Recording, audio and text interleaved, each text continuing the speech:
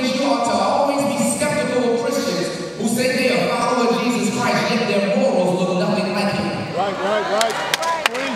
Because every one of Jesus' morals boils down to a simple fact of love.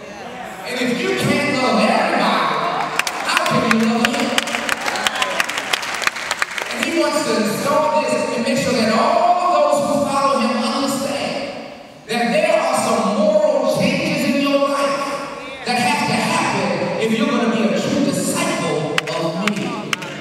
Because if you act the same way you did before you met Jesus, you must not have met him. Come on.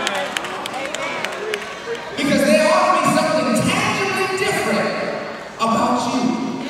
And not just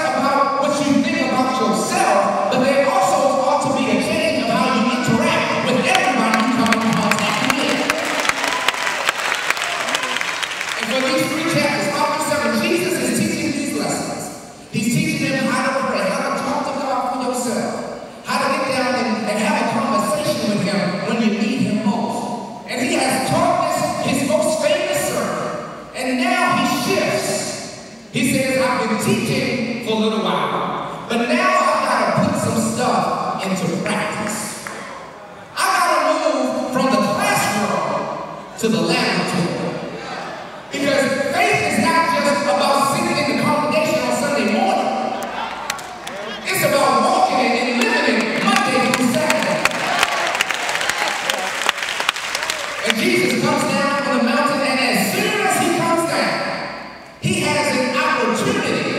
to show the power that he has.